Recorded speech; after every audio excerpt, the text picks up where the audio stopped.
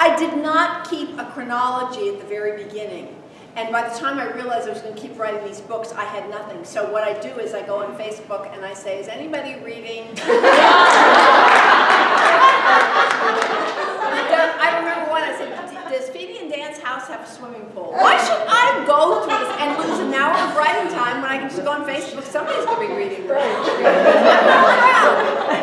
I'm not proud. Back We don't do it that way.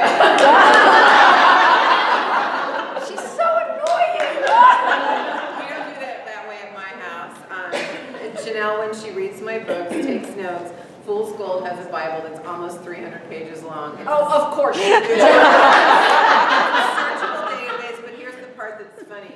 I won't even print it out. She has to have it delivered to a local FedEx, three ring, you know, three hole punch because I have it in a binder. Because I don't want to print out 300 pages. I've got things to do. I just, I, that's, so I couldn't stand to wait for it and it would, anyway. It's delivered to my home. I want the little man to put it in the binder, but he won't. So I, and it's fantastic because it's everything I want.